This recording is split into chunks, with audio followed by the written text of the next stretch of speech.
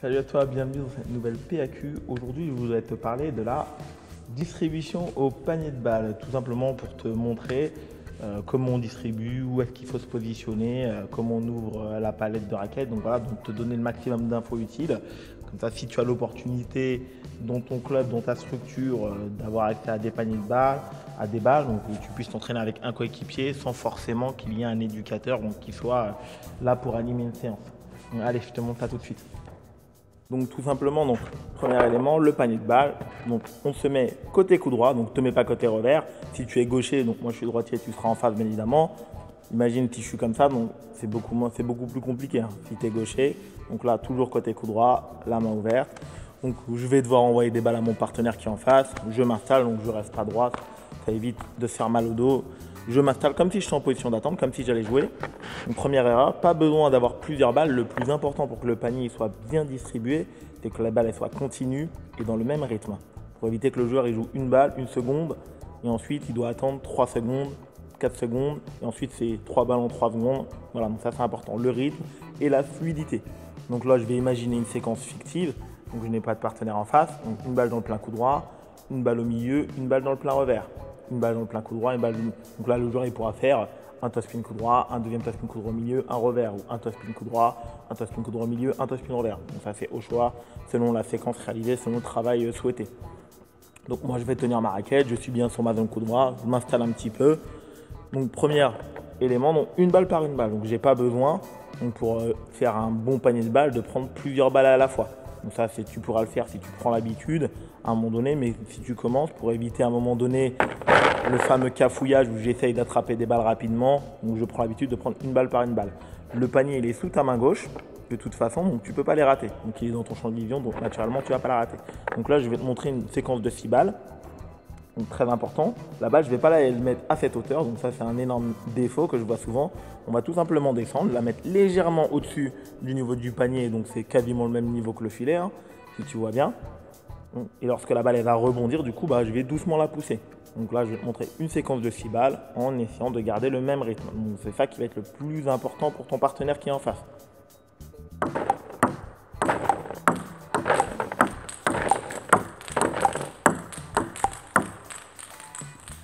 Donc voilà, tu as vu, donc j'ai envoyé les 6 balles à mon partenaire.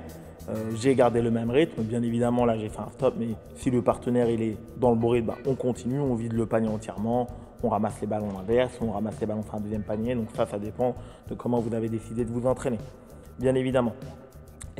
si euh, la personne qui est en face de toi, lorsque tu, tu envoies les balles, elle n'a pas beaucoup l'habitude de s'entraîner, elle est dans sa première année de pratique ou ses deux premières années, mais qu'elle n'a pas beaucoup l'habitude de s'entraîner, lorsqu'à un moment donné, si elle est dépassée, tu t'arrêtes, tu fais un stop, la personne reprend au départ et tu recommences.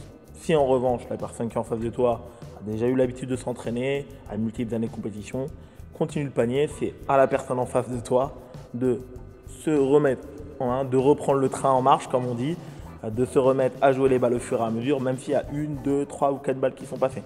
Donc ça c'est important, tout simplement. Donc maintenant, donc là je t'ai montré donc pour une séquence, donc après tu peux décider, donc trois balles en revers, une balle en couloir, ça ça dépend entièrement. Donc pour jouer une balle courte, moi je pour jouer une balle courte, comment est-ce qu'on fait justement? On me pose souvent la question pour jouer les balles courtes. Donc maintenant je vais te montrer donc comment on fait pour envoyer des balles courtes à ton partenaire faut pas oublier l'objectif lorsqu'on fait du panier de balles, bien évidemment, c'est de faire de la répétition, mais c'est également de donner les balles les plus réelles possibles. Donc le partenaire il retrouve ces balles-là lorsque le joueur va servir, lorsque le joueur va pousser, qu'elles soient le plus proche possible pour que justement bah, il ne se soit pas entraîné pour rien. Que toi et lui, vous ne soyez pas entraînés pour rien. Donc ça c'est très important. Donc là je dois mettre des balles courtes, par exemple pour que le joueur exécute un flip coup droit, hein, qui s'entraîne à faire un flip coup droit très bien, mais il faut que la balle soit quand même assez basse et il faut qu'elle soit assez longue. Même une balle courte. Je m'explique. Donc, ce qui veut dire, ça ne sert à rien de mettre des balles juste là qui vont coller le filet. si j'envoie les balles, hop, juste là, derrière le filet, hop, faut que les balles, elle est trop haute. Ce ne sont pas des balles réelles. Votre partenaire, soit il va pas du tout réussir, soit il va trop réussir.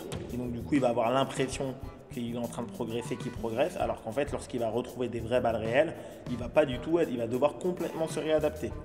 Je garde la palette ouverte, la balle va rebondir juste devant ma raquette et je vais doucement envoyer. Donc la poussée, tu vas voir, elle va juste passer le filet.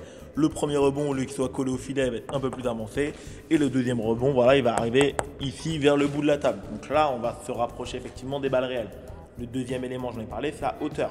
Si effectivement le premier rebond il arrive là, mais que la balle est à cette hauteur et que le deuxième rebond elle arrive là, également la balle elle est trop haute, là même souci, la balle n'est plus du tout réelle et en match il va, il va pas réussir à s'adapter, à intégrer ce qu'il a travaillé au panier de balle à son jeu. Ce qui n'est vraiment pas l'objectif. Comme tout à l'heure, une séquence de 6 balles au panier de balle.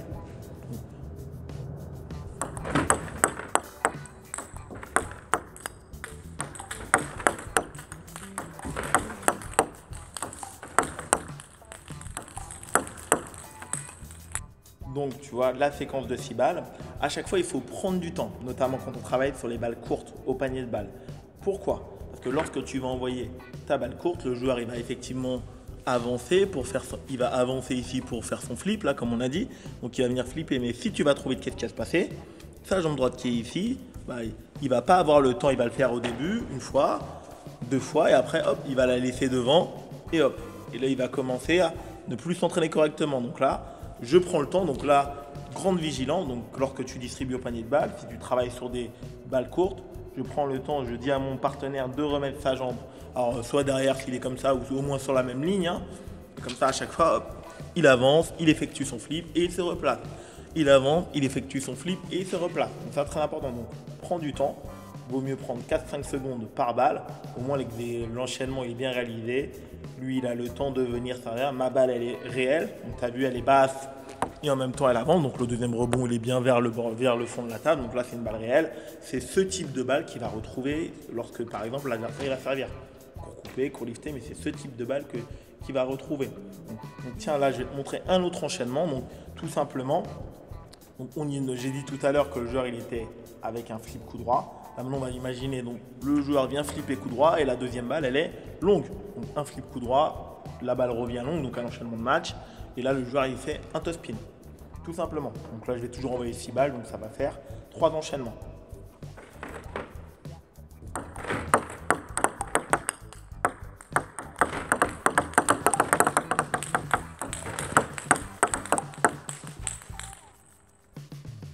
Donc là, comme tu as pu le voir, qu'est-ce qui s'est passé? J'ai poussé la première balle doucement. Dans la foulée, donc toujours une balle par une balle, comme je t'ai expliqué. Je remonte la raquette comme je t'ai montré au début et doucement, hop, j'envoie la balle. Derrière cela, donc là, on prend du temps. Le joueur, il a exécuté un enchaînement assez technique. Il s'est rapproché, il a flippé, il a repoussé derrière, il a exécuté un deuxième top spin coup droit en engageant. Donc l'enchaînement, il prend au moins 4 à 6 secondes à chaque fois. Derrière, on lui laisse le temps, une à deux secondes, de se replacer en position d'attente sur son revers et on recommence. Une balle courte et lui, il va venir flipper. Je me sors et je réattaque. 4 à 6 secondes. Ça ne sert à rien de renvoyer la première balle lorsqu'il est encore en face de toi en train d'exécuter le top spin. On le laisse se repositionner en position d'attente donc sur la zone revers, comme je t'ai déjà montré. Allez, je te montre la dernière position. Une fois que tu auras un petit peu pris l'habitude, ce qui est bien de faire, c'est de reculer, donc se, se mettre au bord de la table. Pourquoi? Tout simplement parce qu'au tennis de table, donc les balles, arrivent euh, après le service, elles arrivent souvent de, proche du filet, mais la majorité du temps, les balles que tu vas recevoir, elles vont venir du fond de la table. Donc forcément, pour donner des balles les plus réelles possibles, donc ça c'est quelque, chose de très important, donner les balles les plus réelles possibles. une fois que tu seras habitué à distribuer au filet, tu pourras te reculer un petit peu. Donc là, deux possibilités. Soit j'avance un petit peu le panier et je me laisse un petit espace là après le panier ici pour laisser tomber la balle. Soit voilà, si tu maîtrises un petit peu plus, donc moi j'ai l'habitude, donc par exemple, hop, je prends directement la balle et je la tape. Donc là, les balles vont arriver avec une trajectoire réelle. Donc les balles elles arrivent du fond de la table. Donc on peut même se mettre dans le plein coup droit, il n'y a absolument aucun souci. Voire même, nous c'est ce qu'on fait souvent pour les joueurs qui ont un bon niveau. On exécute directement un toss spin parce que la majorité du temps, les joueurs vont recevoir des toss spin. Donc il faut qu'ils s'habituent à bloquer ou à contre-attaquer sur ce type de balle, tout simplement. Donc comme tout à l'heure, je te montre une petite séquence de 6 balles. Donc là, moi, je ne vais plus laisser de rebond. Je vais directement prendre la balle et la donner directement à mon partenaire. Donc toujours avec le même enchaînement du début. Une balle dans le coup droit, une balle au milieu, une balle dans le revers. Et on revient dans le plein coup droit.